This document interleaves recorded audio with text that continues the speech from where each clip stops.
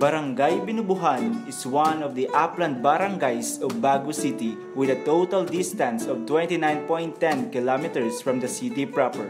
People living here use tricycle as their public transportation. With a population of 7,421, Barangay Binubuhan is divided into 13 poroks.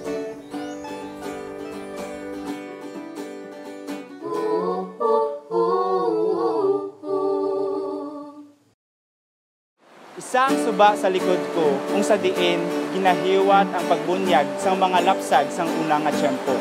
Ginabubuan ang ila mga yubon sang tubig nga halin diri kag diri naghalin ang ngalan nga binubuhan.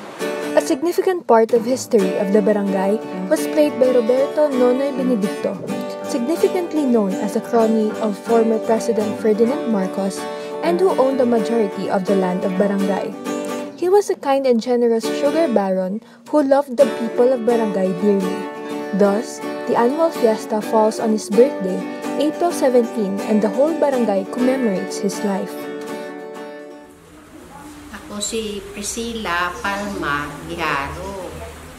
Nagkapitan ko sa 1989. Kalidyal pa to?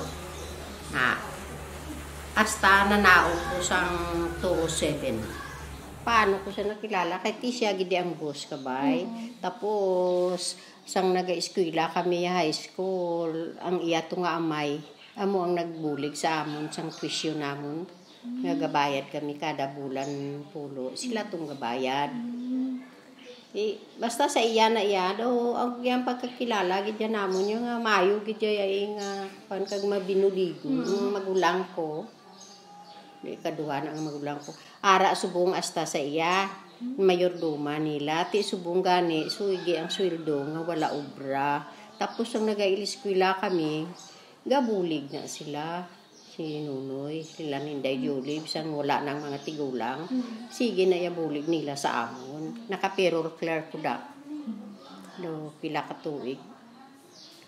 Ma 31 anyos ko da. Mm. Sa iya lang niya nami gid siya magdala. Wala kami gid siya isaway. Mayo gid siya magdala kay kung magkadto man na di siya ang mga tigulang ginapanipon niya kag panagaan kwarta.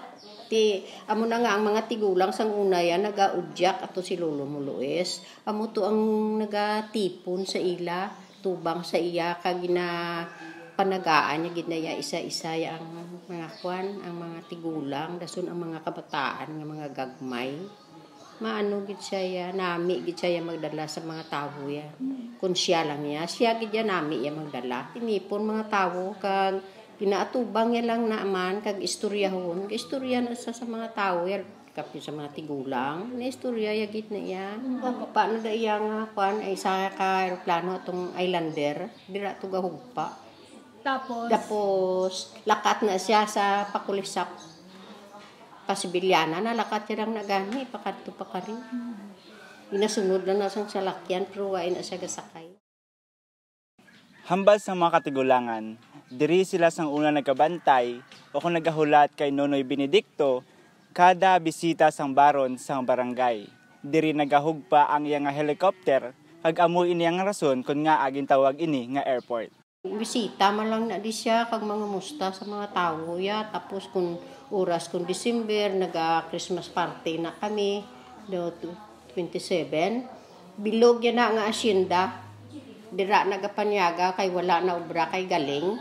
Wala na obra bilog na nga adlaw hakot na sang truck ang tanan nga mga tao dito manyaga sa pulsa. Kung sino man nga kapitan ang magpungko, magsaka lang sa iya, wala gid problema. Panguma ang pangabuhian sa mga tao diri halin sang una. Halin sadto malinong nga nagapangabuhi ang mga tao sa barangay Binubuhan.